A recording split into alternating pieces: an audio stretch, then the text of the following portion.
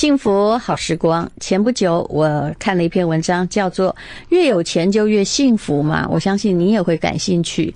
我们有时候会觉得啊，有人腰缠万贯，可是他过得很不快乐；但是啊，有人好像没有钱，哎，也过得不太快乐。那到底啊，心理学里面怎么样看钱跟幸福的关联呢？很多人会回答说，越有钱越快乐，但答案是不是这样呢？其实，yes，但是也不是。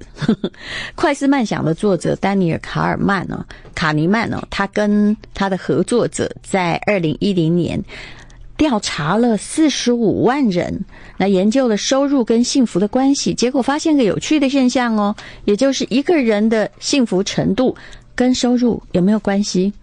答案是有关系啊。那么什么关系呢？也就是如果你是属于低收入者，我简单的讲啊，钱越多，痛苦和压力就会减少。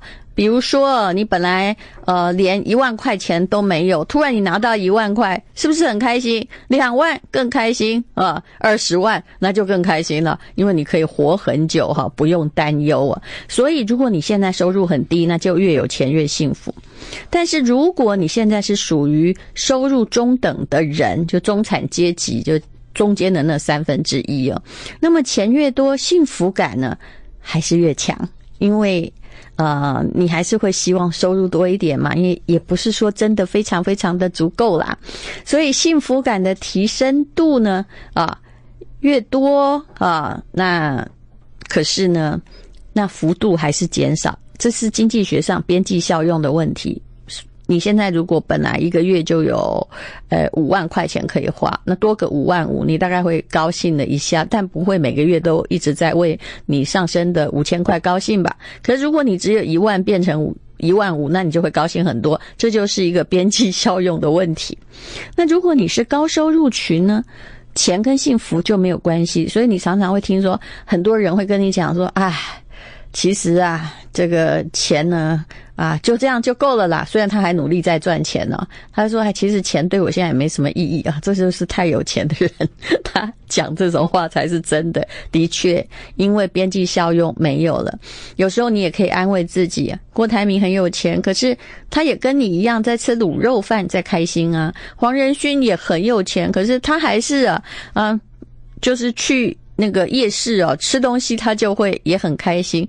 而他的皮衣你也买得起，不是吗？啊，钱不是万能的，没有钱万万不能，那也是实在的话啊。但是这个研究是要告诉你，就是要看你有多少啦，哈。如果你真的已经很够的话，那么越多钱不一定会带来幸福。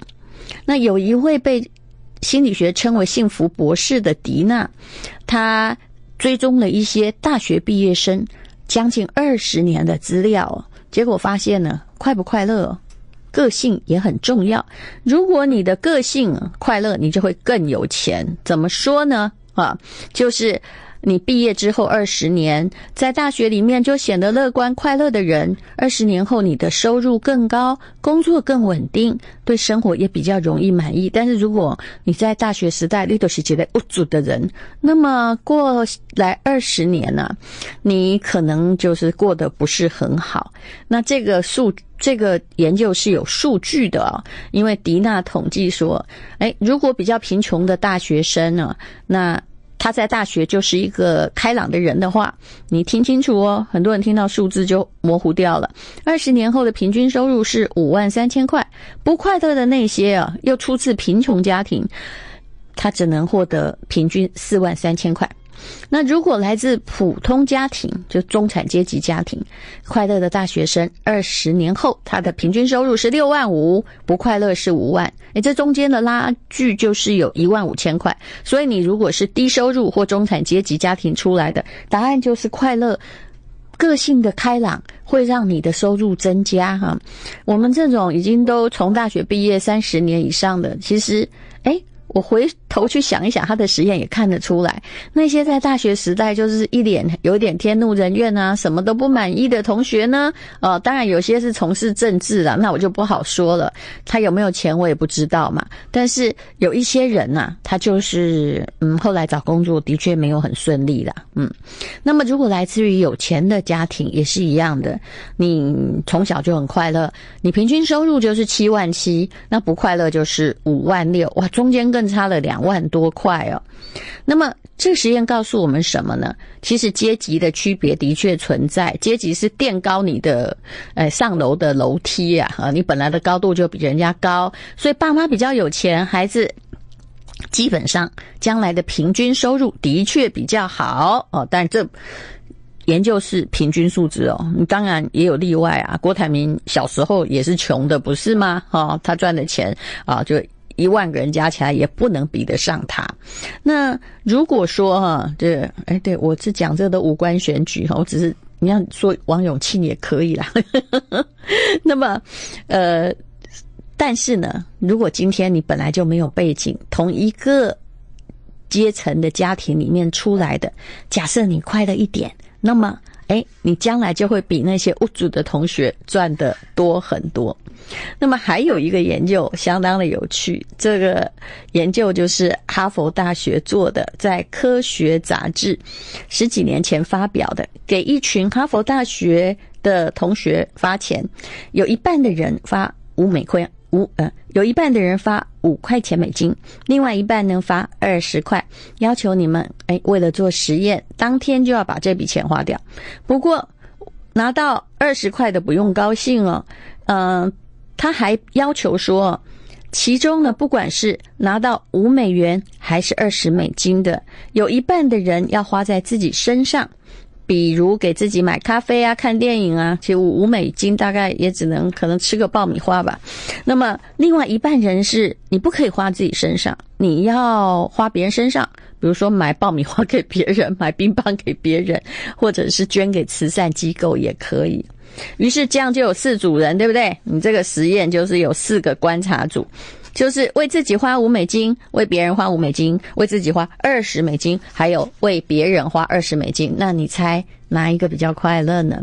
也许你会觉得说，当然是花在自己身上比较快乐喽。答案并不是，而是啊，把钱花在别人身上的比较快乐，比较幸福。跟你花的是五块或二十块没关系。所以也就是说，如果你愿意。为别人 do something，给别人一些快乐的感觉，你自己感觉是更良好的。不管你是给一点点。还是你给很多，所以如果你要帮助一个真正需要帮助的人，答案并不是帮多少钱才厉害，而是你有没有帮。这也证明了人生天生就有助人之心，你是有助人的基因的。好，这就是钱与快乐的关系。欢迎载誉归国的金利国际总经理啊，啊，其实叫金美比较好，因为你应该都认识他的品牌吕丽美。你好，戴茹姐好，各位听众朋友大家好。你不知不觉间就去欧洲亚一个多月，欧洲美美国。是巡回吗？感觉去参加选美一样。我 我这次挑战了四十二天，嗯。嗯，一次比一次的时间长，而且瘦了嘿，真的哦。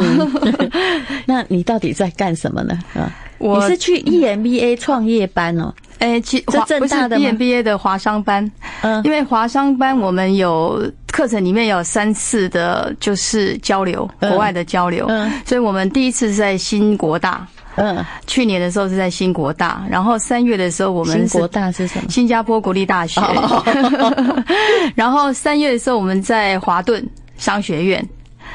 美国最老的、我很想去的地方，因为我们没办法入学，你知道吗？念七天也好，我常是 这个心理。念七天，谁让我去哈佛？我也有一张结业证书啊。对。然后这次，如果我们是诈骗集团，就拿来骗啦。啊我这次去剑桥。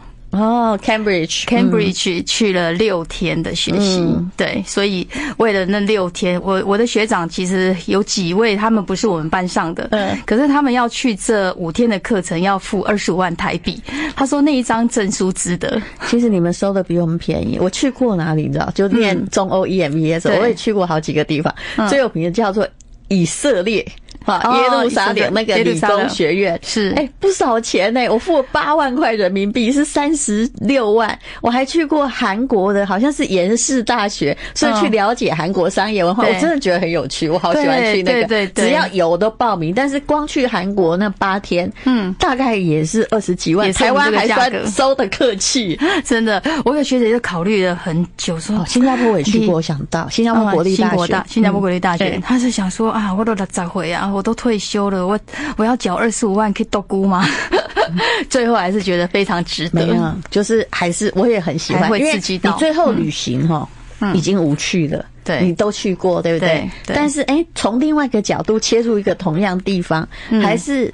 还是收获满满，是不一样。就是这样子的学习，就是说我们是在已经在实业里面的学习，不是在课本上的学习。所以这种学习跟这种情境带来很多的刺激。我十月要去念瑞士中欧的博士，因为我已经 delay 两年了，因为疫情嘛。因为你叫我线上上课，我办不到。我觉得这样很无聊，为什么要缴那么多钱去线上上课？对对。所以啊，然后我还有另外一个东西要念完，但是十月之后，我我想我有时候。后你也可以在瑞士，我跟你打招呼这样。呃，我们学校在那个苏黎世。嗯，哦，瑞士现在有一个博士班是日内瓦，日内瓦它也有一个很特别的班是 DBA 啊，也是给。搞不好我是在就那个啊，我就是念 DBA，你就是 DBA 吗？对对。哦，那我有机会当你学妹，欢迎过来。是，其实挺有趣的啊，尤其是老实说，我有时候跟同学学的比。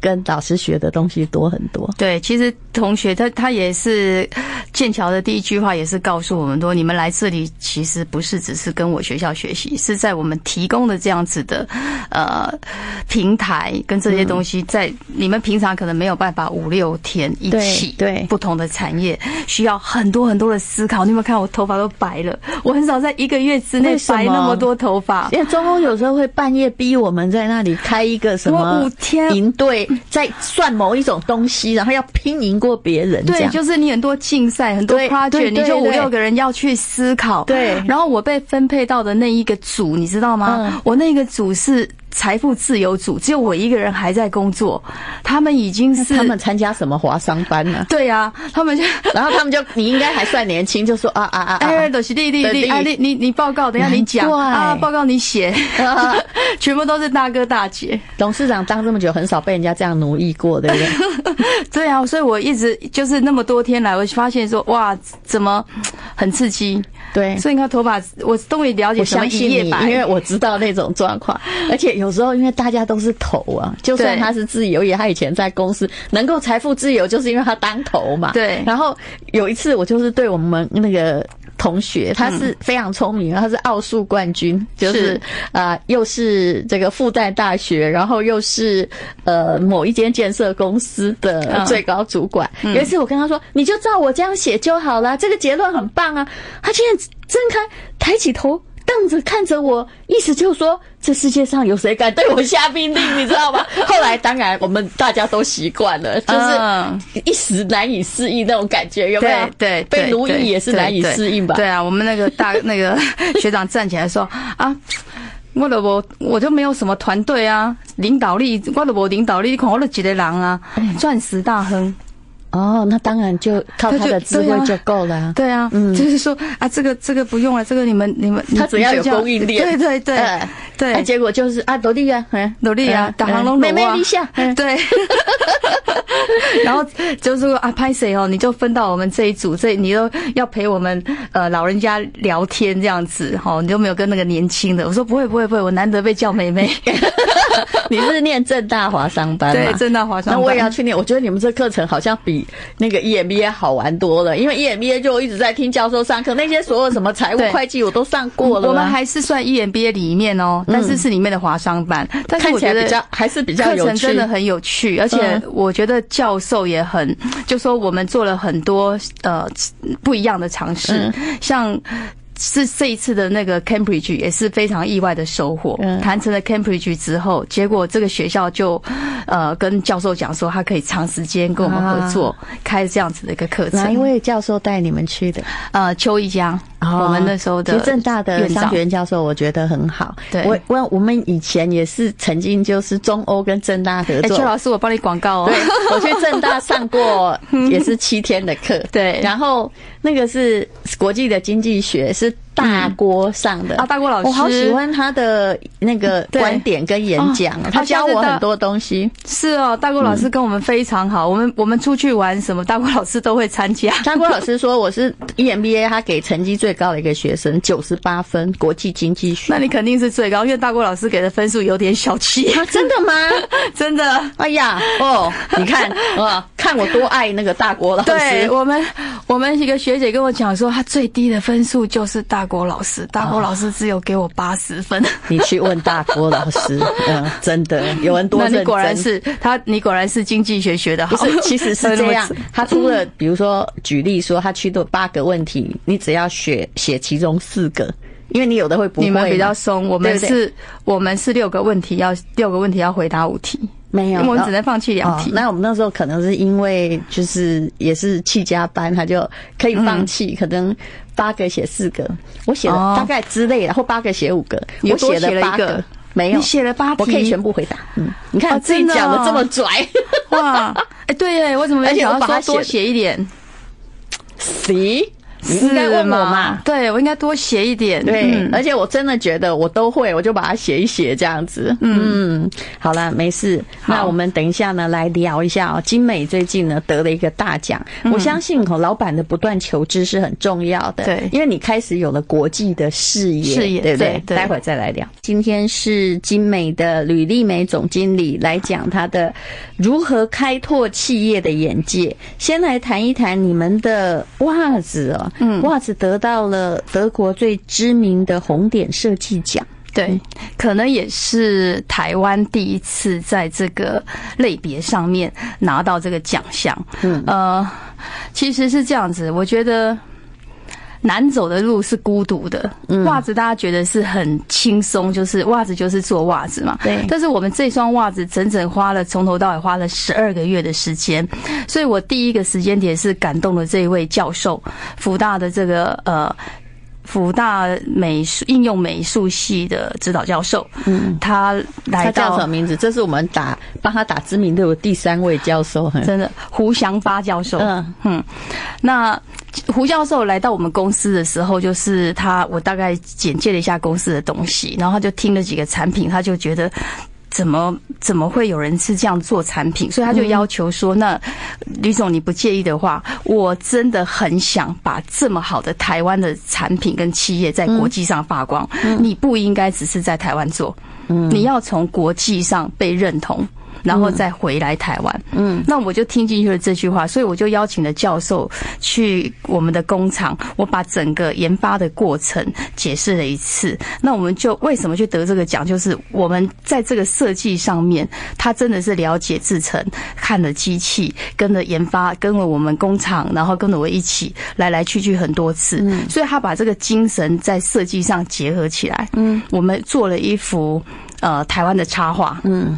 把这个故事写下来哦，对，所以你得奖的不是袜子吗？我得奖是袜子，跟插画什么关系？我的袜子做成了设计奖的广告项目，对对对，是一幅台湾的插画，把台湾的故事说清楚，也把整个制成、整个精神说。说的很清楚，所以感动了评审委员。所以你这是袜子类的唯一的设计奖，对，台湾可能也是第一次，这是第一个红点设计大奖。然后这是七月我们拿到的，七月底八月份我们又拿到的美国也是非常呃非常高级的，就是奖这个在。相关的广告人都知道，就是 Muse 的 Golden Winner，嗯，呃，行销创意奖也是袜子吗？也是这双袜子。那在刚刚九月份刚刚才公告的是经典设计奖，嗯，二零二三年的经典设计奖，就同样的这一双袜子，嗯，对。嗯，你这样子是不是想要往国际市场出发？你果然聪明啊，不然呢，就一定要这样嘛？对，对不对？对，没有错。对，因为老外是很懂这个奖的，他们是很清楚知道的。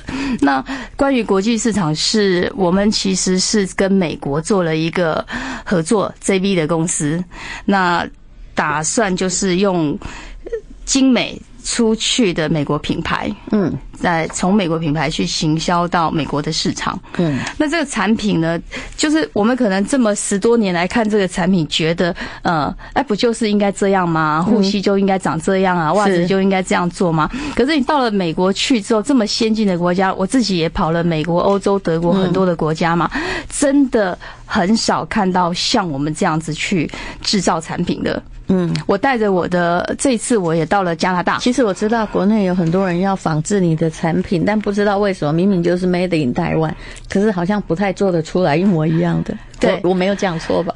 对对对，你真的没讲错，因为大家觉得这么简单的东西，对，但是穿起来为什么会不一样？为什么这个东西会你穿了回不去？嗯，对，所以呢，我也带着这个我的 partner，美国的 partner，跑了他们最大的连锁的一些药店呐，这些有卖护具的地方，我们穿的每一个品牌的东西，通通买回去，全部穿了，他们都穿不上来了。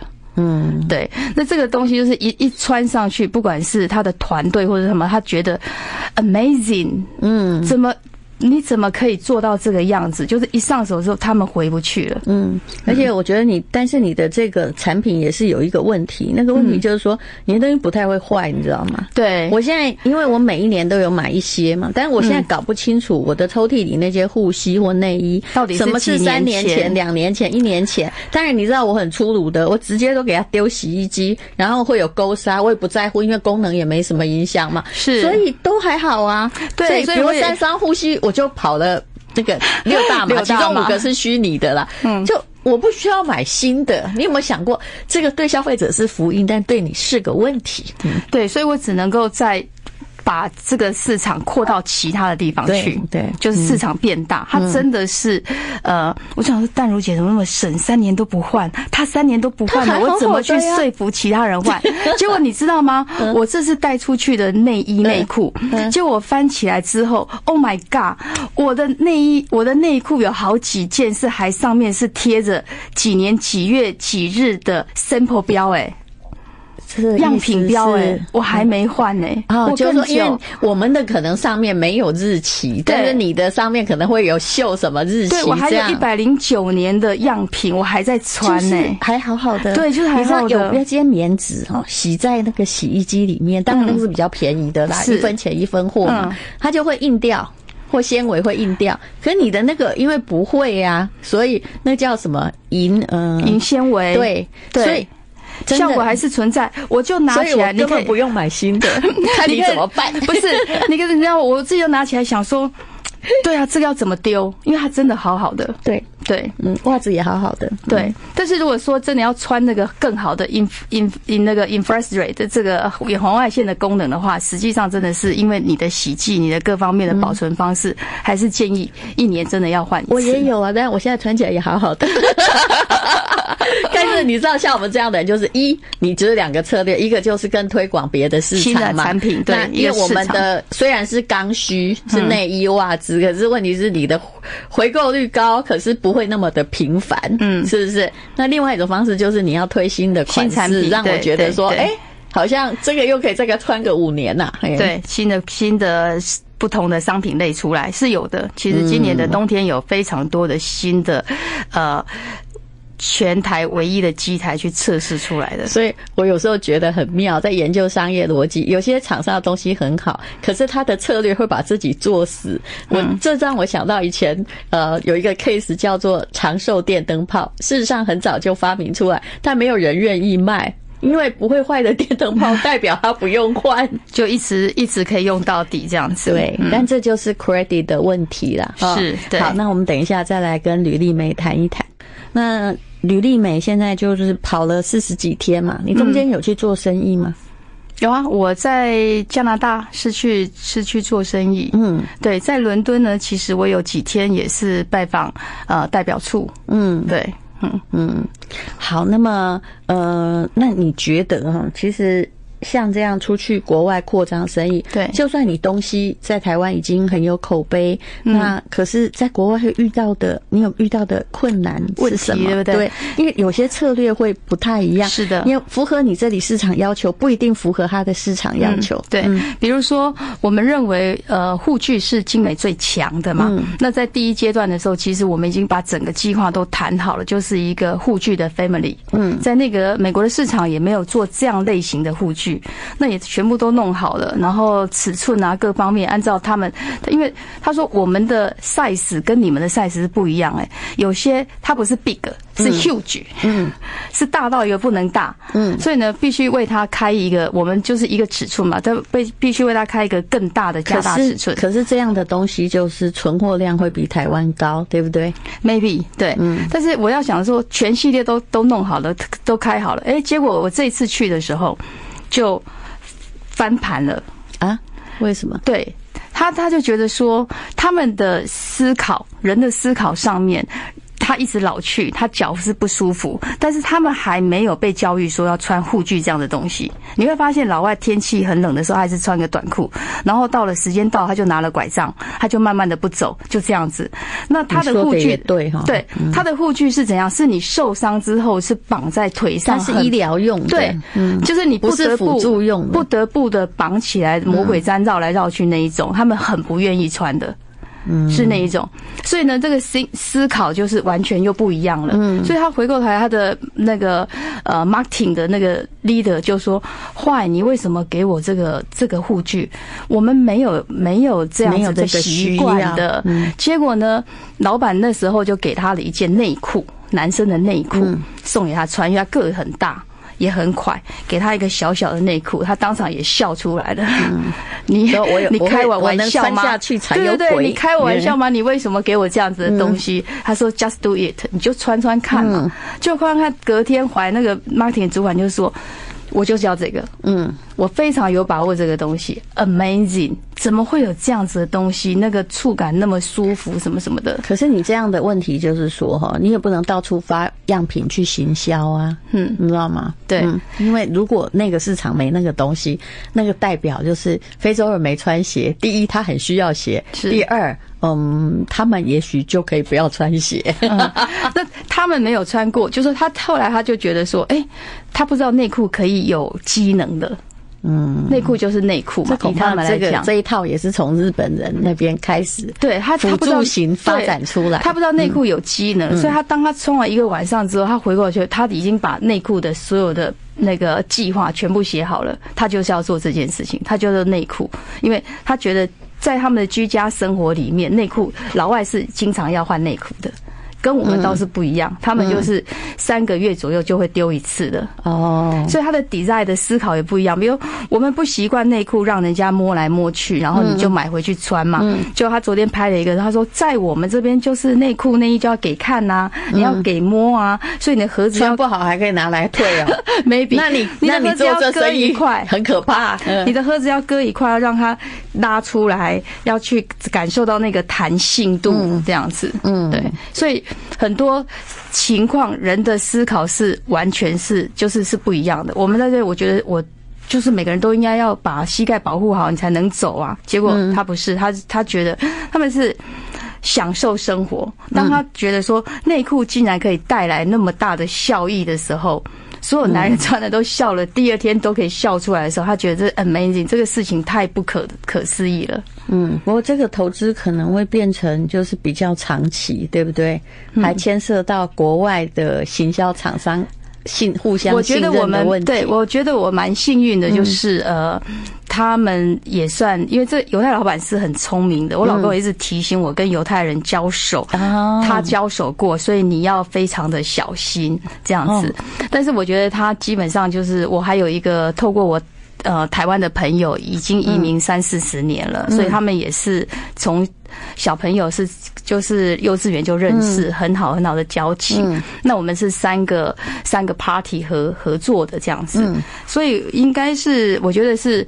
啊，我这个人就是永远是乐观看嘛，对，我觉得应该是没有什么问题的，因为他他们第一次觉得刚开始也可以比较简单一点，反正我就是买货嘛，嗯，我就是先第一阶段我先踹这一次产品买货，第二阶段就是进入到我们的 JV 这样子。啊，原来又是跟犹太人合作，对对，可能要先念一下塔木德，那个苏之峰不是说嘛，对。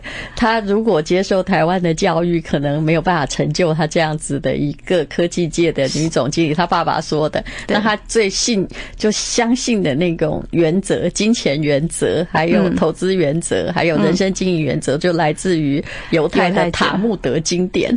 好，好，那我们等一下，我再来谈一谈啊，有关于精美的吕丽美最近的旅程。幸福好时光，一个人在创业期间，其实刚开始一定非常艰苦了。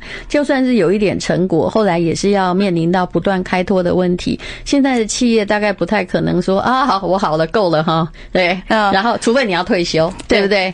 没有办法，如果你认为是够的，就是持平保态这件事情，现在不做不到。你持平就是退就是往，就是就是只会落后，只会一直往下退，你就只能不断的前进。嗯，要么就是不收起来不做了。是，那你这次的旅行还跑到蒙古去啊？哎，你可不可以告诉我们，你是是？